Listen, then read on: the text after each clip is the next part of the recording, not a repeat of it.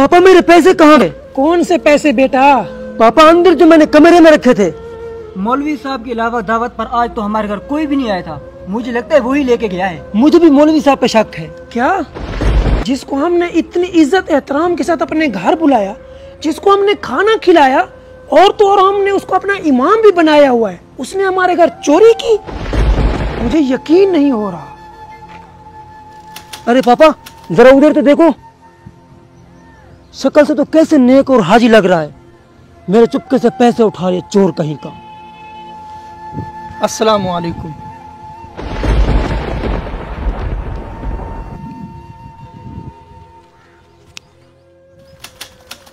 उधर देखो मकार को हाथ में तस्बी और काम चोरों वाले।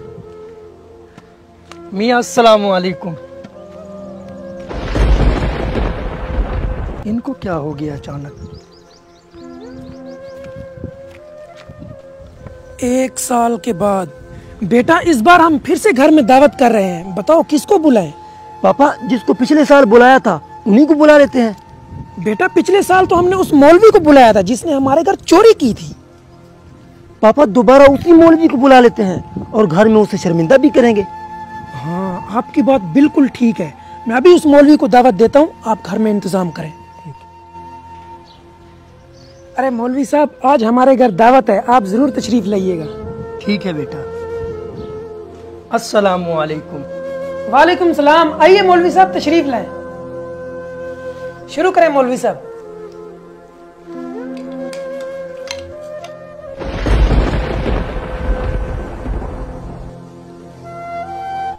भाई उमर साहब मैं देख रहा हूँ पिछले एक साल से आप लोगों का रवैया मेरे साथ कुछ ठीक नहीं था।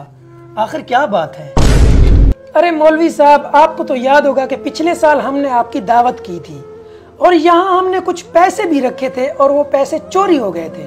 हमारे बच्चों को इस बात पे शक है कि वो पैसे आपने चोरी किए थे। क्या वो पैसे आपने उठाए थे? जी बेटा, वो पैसे तो मैंने ही उठाए थे।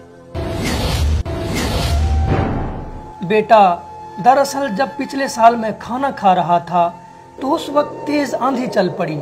जिसकी वजह से पैसे इधर उधर बिखर गए और वो पैसे मैंने उठा लिए थे।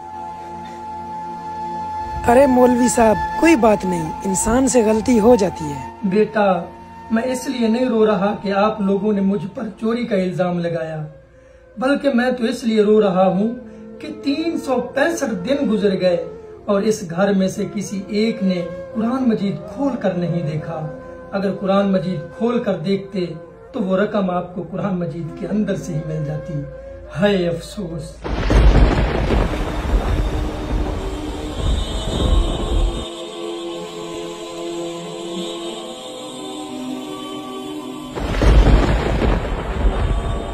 हाय अफसोस, हम मुसलमानों के लिए इससे बड़ा शर्मिंदगी का बायस और क्या हो सकता है, जहाँ पर दुनिया की झूठी खबरें हर रोज पढ़ी जाती हैं।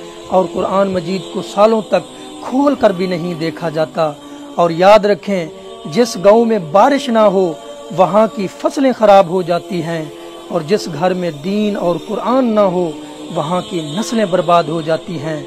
जरा गौर करें, आपने आखिरी बार कुरान मजीद कब खोला था?